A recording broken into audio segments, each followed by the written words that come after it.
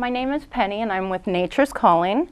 Nature's Calling is an environmentally based program that reaches out to schools, scout groups, um, private events, as well as working very closely with wonderful city of Suffolk. I do tours uh, with the Suffolk Visitor Center to the Great Dismal Swamp. The Great Dismal Swamp is very, very near and dear to my heart. Um, the Great Dismal Swamp is a treasure that we have in our own backyard. And this National Wildlife Refuge encompasses approximately 112,000 acres. Historically, it encompassed over a million acres of land. And I'll show you this map.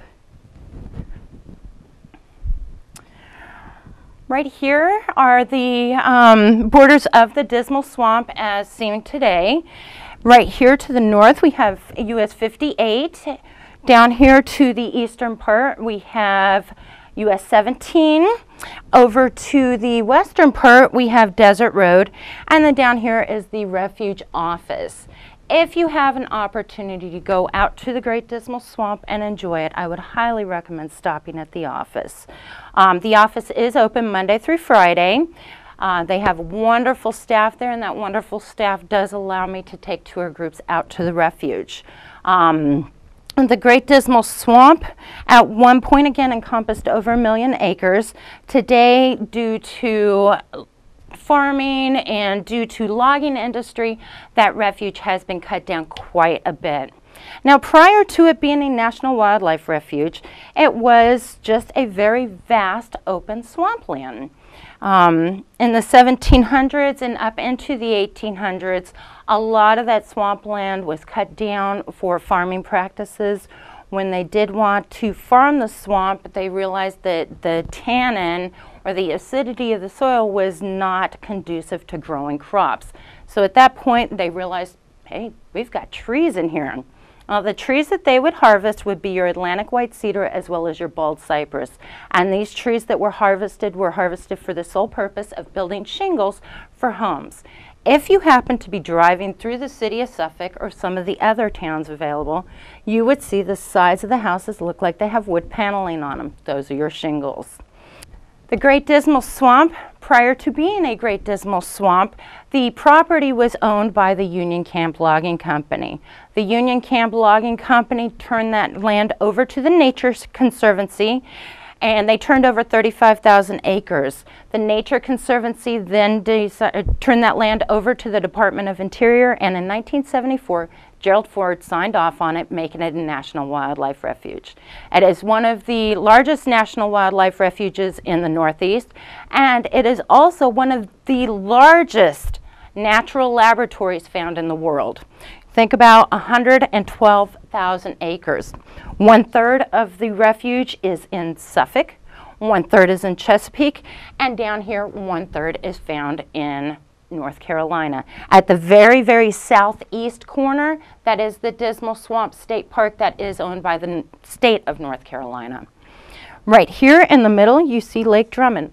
Lake Drummond is one of two natural lakes found in the state of Virginia. The other one is going to be Mountain Lake, and that is out towards the Roanoke area. Lake Drummond is approximately 4.2 by 3.8 miles in um, length and width. Lake Drummond was uh, formed about 3,000 years ago, give or take, and a couple of ways they think that the lake was formed. Number one, um, a firebird coming down. The indigenous tribes from that area believe that a firebird came down and created the lake. A second one would have been a meteor coming down and creating the lake. Well, the Great Dismal Swamp is comprised of peat. Now this is not your sphagnum peat moss that you're going to go out and find out in your garden center, but it is hundreds and hundreds of years of leaves and branches just falling off of the trees and eventually just piling up. This peat can range anywhere from a couple of inches deep to as much as 12 feet deep. Well, approximately 3,000 years ago when Lake Drummond was formed, what happened was there was probably a peat fire.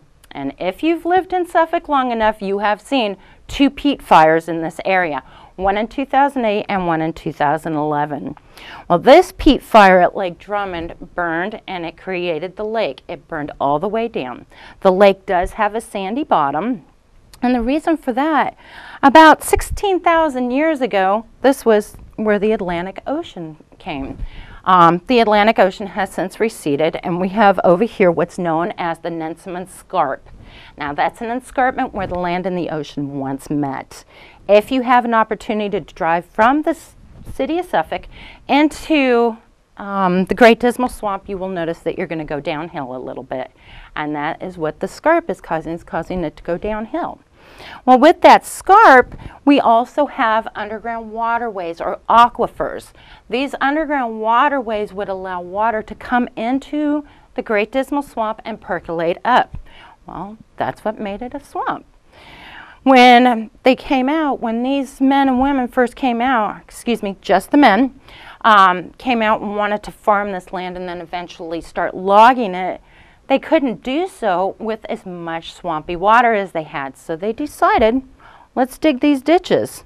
Well, there's about 150 miles of ditch work dug throughout southeast Virginia, and of that ditch work, 90% of it was dug with slave labor. Now, Jericho Ditch was dug with slave labor, and right here is Jericho Ditch. And Jericho Ditch was dug for the sole purpose of transporting the, these um, shingles that these men made out of the Dismal Swamp up into the Suffolk area and then eventually into the Norfolk area for trade. Um, we also have Washington Ditch. Washington Ditch, how did that get its name? Well, from George Washington. George Washington once stood on this land. He did utilize this area. There was a small town there known as Dismal Town. That was George Washington's base camp while he was surveying that area and eventually logging that area. Right here is Railroad Ditch. Railroad Ditch got its name for that very reason. When they were hauling timbers out, they would use narrow gauge railroads. There is a retention pond right in this area that they would use to um, for the steam engines. They would haul those timbers out of there and eventually, again, into the city of Suffolk. Back then, a smaller town. Um, Railroad Ditch is now open to the public. You can go down Railroad Ditch Monday through Saturday until April 1st. As of April 1st, Railroad Ditch going all the way to West Ditch and Interior Ditch is going to be open Sunday through Saturday from 7 to 7. Um, there is no fee to get there. They also allow boating in Lake Drummond. Prior to January, or excuse me, April 1st, you needed a permit. You will not need a permit any longer. You can kayak, canoe, and you can also take small uh, motorized boats, no more than 25 horsepower. A Lake Drummond at its deepest point is approximately seven feet deep. At its shallowest, it averages about four foot deep. So you could feasibly walk across it. I highly recommend against doing that. Um, if you decide to boat out there, please pay attention to the weather. When you go out to Lake Drummond, she can be a sheet of glass. Other days you can go out there and it's going to look like you're at the ocean front. That wind kicks up and it starts churning up white caps. However, when you go to Lake Drummond or when you go to any waterways in the Dismal Swamp, you're going to notice that they are not clear like our water that we drink now, but they're very, very dark. And the reason for that is the tannin or the tannic acid that is released from the leaves into that water and that causes that brown coloration. So when you're out at Lake Drummond and you see brown caps as opposed to white caps, the water is fresh water. It is not, there is no salinity in that water.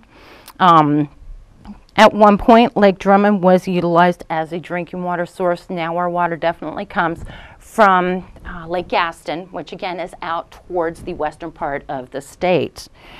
This area here is a feeder ditch. If you choose to launch a canoe or kayak or a boat off of the Suffolk side, you would come in through Railroad, West Ditch, and then Interior Ditch. You can also launch from a spot on the Chesapeake side.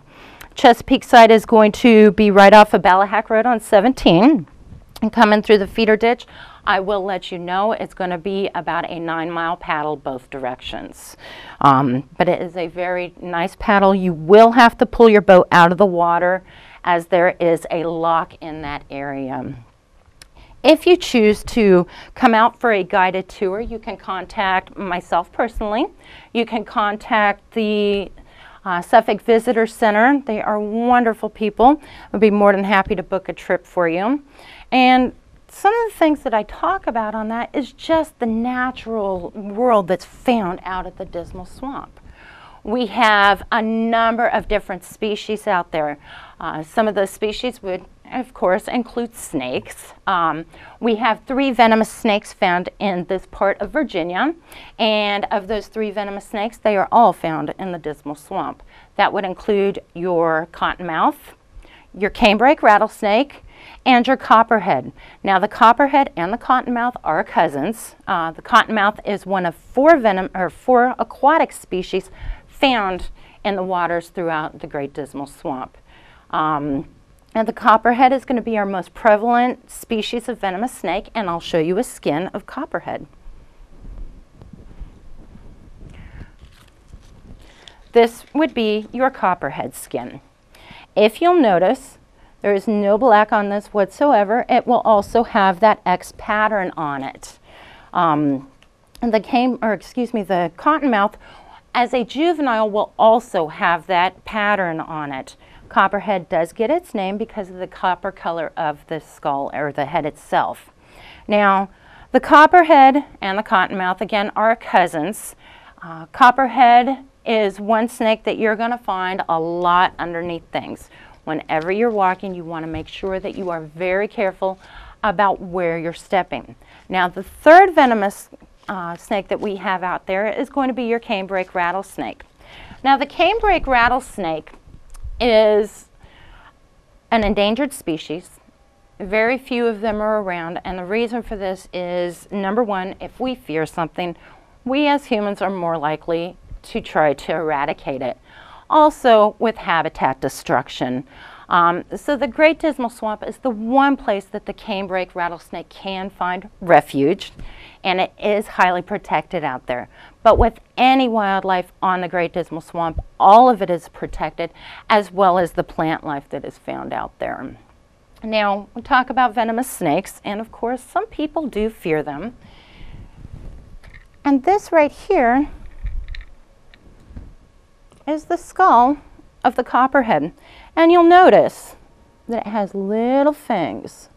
Now, if you wear jeans and tall boots, the chance of these fangs are not going to puncture you. But again, one thing you want to do is make sure you watch where you step. If you come across the snake in the wild, the best thing to do is to take two steps backwards, turn around, and walk away. Snakes do not want to waste their venom on something they cannot eat. Once you take those two steps, turn around and walk away, you are out of striking distance. A snake is only going to strike half its body length. Okay.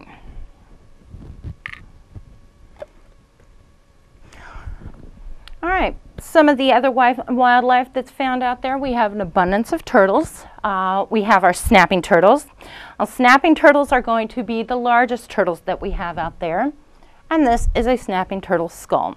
It is an aquatic uh, turtle, and if you look right here, this is where the nose is. Now with aquatic turtles, they have to put their head above water, and they'll keep their bodies below water, and it actually helps against predators trying to attack them.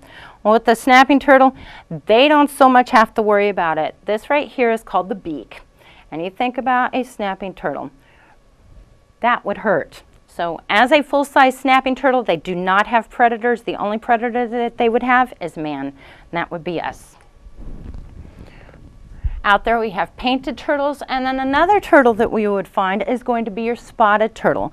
Spotted turtles are adorable. They look like they have little ET faces.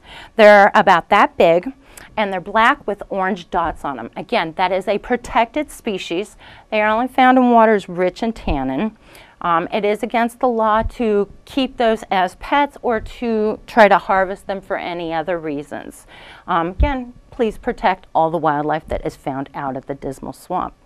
Now some of the larger animals that we have out there, we have 700 pounds of fur, and that would be your um, black bear. Now black bear, when you think about it, when we go out there, I do talk quite a bit, so they're hearing me, they know that I'm there, and they're not likely to attack. If you happen to come across a black bear out at the Great Dismal Swamp, We're typically on a bus, so we don't have to worry so much. And we've seen them a few times. It's always a pleasure to see them. Um, the thing is, if you come across the black bear, raise your hands above your head, make as much noise as possible, and that tends to scare them off. The only time it would least likely scare them off is if you were in between a sow and her cub, and that would be with any mother and her young, and she is going to stay and protect it. We also have beaver out there. Now, beaver do their share of logging as well.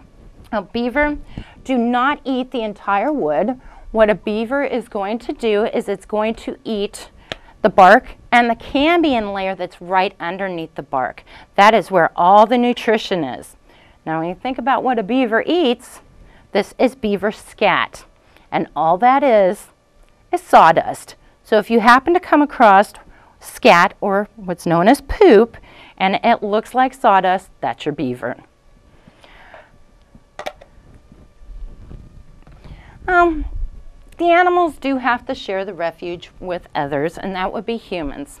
Now, prior to us settling Suffolk and settling Chesapeake, the Great Dismal Swamp was home to two indigenous nations.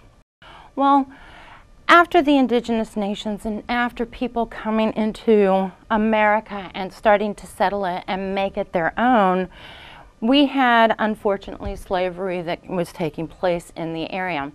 Well, as these men were coming in, and they, they were working and they decided, you know what, I do not want to be here.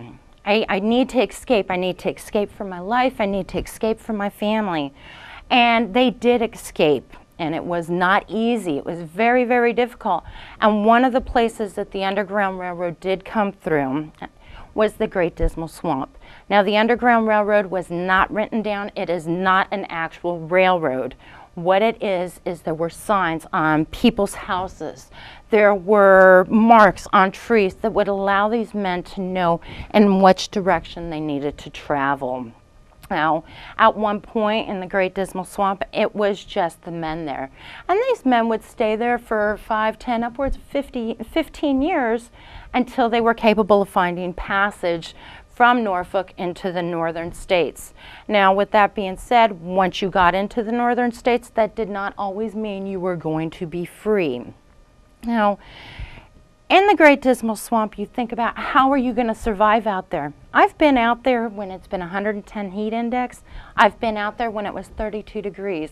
It would not be easy to survive out there, but it would be easier to survive out in the Dismal Swamp than it is to be getting beaten by a slave owner. Now, when these men came through there, they would be able to go back and walking through there, you can put yourself back in time and think about the foliage and think about the vines that were out there. It'd be very difficult to see somebody 30 and 40 feet back because those branches and those vines would break up a silhouette. Well, slave owners decided they were going to have slave hunters go and look for the slaves because a slave owner is not going to go into the swamp. Um, so they would get these slave hunters. These slave hunters would bring in dogs. Well, the dogs are not going to care about a silhouette because of their noses. So what would happen is those dogs would be able to follow these men into the swamp. They would be able to find them. So in the Great Dismal Swamp, we'll look at the map again, there are areas where it is going to be just peat. That is going to be where you're going to find your bald cypress, uh, your cedar trees, um, your different vines. Then there are other spots where you're going to find your pine trees. Now, pine trees in a swamp, that is going to sit on higher, drier ground. That's called a hammock. Now, pine trees do not like their feet wet. So when you see a pine tree in the dismal swamp, you know that you are on higher ground. Well, these men that went out there also realized this. And what they would do is that would be their home. Now, these hammocks would be surrounded by water. It would be like an island. Well, there is evidence that there were cabins being built out there. Now, it's not the type of cabins that we see on HGTV. It was basically just a platform, a roof, and some walls to protect them from outside um, sources, from the weather, from the animals, whatever the case may be. But these men survived out there. Not only was it just the men, and at first it was, but eventually the women came in. Well, after that, they did have children. These men and women reared families out there. Now, with these maroon villages, and these escaped slaves were known as maroons, with these maroon villages, what would happen is they still needed to provide for their families. Sure, you could hunt. There's an abundance of deer out there. There are bear, there are turkey. You can fi find fish out of the swamp. Um, but they still needed to buy other things. So what these men would do is they would build shingles. These shingles are about yay long, so you're looking at about 18 inches. Um, again, built with bald cypress or Atlantic white cedar. Um, and they would build those inside their maroon villages and then sneak out of the maroon village, go into town, sell them, and then purchase what they needed to bring back into their village. Now, when they came back, it can be just as treacherous as when they leave. Because just because you were a person of color does not mean that you were going to be allowed back into that village or back into that village. Reason for that was there were still people of color that would be more than happy to sell somebody else out for either their freedom or for money. And so there were signs that they would have or different knocks or whatever the case may be in order to get back into their village. Not only would they make shingles, but turpentine was another thing that they would, again, use as trade. Now, eventually, um, these men and women, again, made home out there, but eventually, thankfully, slavery did end. Um, I have been very fortunate to speak to quite a few people who are descendants of slaves. Um, there's also a professor from American University. His name is Dr. Sayers. And Dr. Sayers has wrote a book and has done extens extensive research and um, digs in the Dismal Swamp. And his book, and I highly recommend this read, is A Desolate Place for a Defiant People. Um, Dr. Sayers does go into depth about some of the things that he's found, but just the whole natural history of the swamp and how that plays in to how these men and women were able to survive out there. Um, Dr. Sayers does have a few dig sites. I am not privy to those dig sites, and um, they are kept secret. And the reason for this is they are afraid of looting. They do not want looting to take place. Um, they are cataloging these artifacts, and some of the artifacts that they have found, they have found fine china, and they have also found a clay pipe. Now that just lets you know the demographics of people that were out there. The fine china, I would imagine would have come from the Washington group. And then of course the clay pipe or the old pottery would have come from the maroon villages. Um, they have found dump sites. Now these trash sites are by no means as large as the trash sites that we have nowadays, but just very small trash sites. Um, but they have been finding quite a few artifacts out there.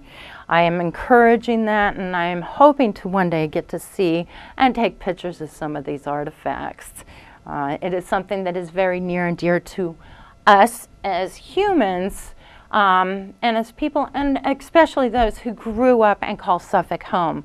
This is part of your history as well. Now, being a transplant and being new to Virginia per se, I moved here in 2001 and my background is in wildlife. I am a naturalist. But coming out here and learning about the human history, learning about what has taken place out here has really just piqued my interest and I am trying to read as much and talk to as many people as I can just to get more information. All right. Well, I'm hoping that I will get to see some of you out on one of the tours. Again, um, please come out and enjoy the Great Dismal Swamp. They do a tremendous amount with the general public and on April 21st through the 23rd is the Birding Festival. I will be assisting in walking tours and we also have bus tours out there. Um, book early, I do believe that they're kind of booked up right now, but um, come on out and take a gander. There's going to be a lot of people. Whether you are interested in bird watching or whether you are a professional bird watcher, Even if you've never done it before, come out. There are plenty of people to talk to and lots of neat things to learn. Also, if you want to come on one of the guided tours through the city of Suffolk, we have a number of dates that we will be taking bus tours out, and we're also starting up kayak tours. If you cannot get on one of their tours, by all means, contact me personally, and we'll get you set up on one of your own private tours. Thank you very much for your time, and have a wonderful day, and get outside and explore.